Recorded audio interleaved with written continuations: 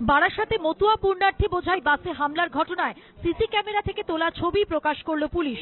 প্রথম ছবিতে দেখা যাচ্ছে, বাসটির সামনে ও আশেপাশে তিন চারজন যুবক দাঁড়িয়ে রয়েছেন। পরের দুটি ছবিতে ঘটনাস্থলে দশ পনেরো জন যুবকের উপস্থিতি লক্ষ্য করা যাচ্ছে। মঙ্গলবার রাতে দক্ষিণ চব্বিশ পরগনা থেকে মতুয়া মেলায় যোগ দিতে বাসে করে ঠাকুরনগর যাচ্ছিলেন পঞ্চাশ ষাট জন পুণ্যার্থীর একটি দল।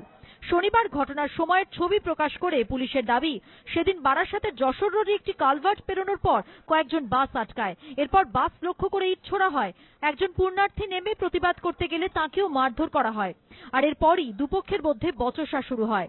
এই ঘটনায় এখনও পর্যন্ত চারজনকে গ্রেফতার করেছে পুলিশ। পার্টিকুলার গ্রুপ অফ পিপলকে টার্গেট করে এই ধরনের ঘটনা ঘটায় না একটা রাস্তায় ঘটনা ঘটেছে।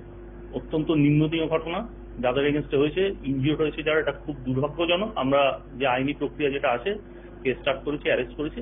অন্যদিকে হামলার প্রতিবাদে শনিবার বাগদা বনগা রাজ্য সড়ক অবরোধ করে মতুয়ারা। এই ঘটনায় ইতিমধ্যেই লেগেছে রাজনীতির রং। এদিন কল্যাণীর বিধায়ক অম্বিকা রায়ের নেতৃত্বে বারাসাত থানা ঘেরাও করে বিক্ষোভ দেখায় বিজেপি। গত দু তিন দিন ধরে দেখছি একটা নোংরা রাজনীতির খেলা চলছে। ঠাকুর বাড়িকে কেন্দ্র করে করছে। পার্টিকুলার একজন কর- করার চেষ্টা করছে নোংরা খেলা। এই রাজনীতি আমরা বন্ধ করা দরকার। ঠাকুর বাড়ির কারুর নিজস্ব সম্পত্তি নয়, এটা জেনে রাখতে হবে। জ্যোতিপ্রিয় মল্লিক এরকম কোনো লেভেলের নেতাই নয় যে তারা এই সমস্ত প্রশ্নের আমার উত্তর দিতে হবে। সিবিআই তদন্ত না হলে এগুলো প্রকৃত কতটা সত্য, কতটা মিথ্যা, কি করে হবে? পুলিশকে কি তদন্তের ভার দেবে? যে পুলিশ তামাক খেয়ে বসে রয়েছে রাজ্য সরকারের। যে পুণ্যার্থীর মোবাইল ফোন কেড়ে নেওয়া হয়েছে বলে অভিযোগ উঠেছিল সেটা উদ্ধার করা হয়েছে বলে জানিয়েছে পুলিশ। সমীরণ পালের রিপোর্ট এবিপি আনন্দ উত্তর চব্বিশ পরগনা। তলানিতে ঠেকেছে শ্রীলঙ্কার বিদেশি মুদ্রার ভান্ডার চরমে উঠেছে জ্বালানির সংকট। এই অবস্থায় পর্যটনকে ঘিরে ঘুরে দাঁড়াতে চাইছেন শ্রীলঙ্কার ব্যবসায়ীরা। পর্যটক পাঠানোর জন্য বারবার আবেদন করা হচ্ছে বলে দাবি করেছেন এ রাজ্যের পর্যটন ব্যবসায়ীরা। চরমে আর্থিক সংকট। সঙ্গে পাল্লা দিয়ে বাড়ছে মূল্যবৃদ্ধি। ভয়াবহ পরিস্থিতি তৈরি হয়েছে দক্ষিণ এশিয়ার দ্বীপরাষ্ট্র শ্রীলঙ্কায়। প্রেসিডেন্ট গোতাবায় রাজাপাকসের পদত্যাগের দাবিতে পথে নেমে বিক্ষোভ দেখাচ্ছে সাধারণ মানুষ। গত কয়েকদিনের তলানিতে থেকেছে শ্রীলঙ্কার বিদেশি মুদ্রার ভান্ডার তার ফলে দেখা দিয়েছে জ্বালানির সংকট।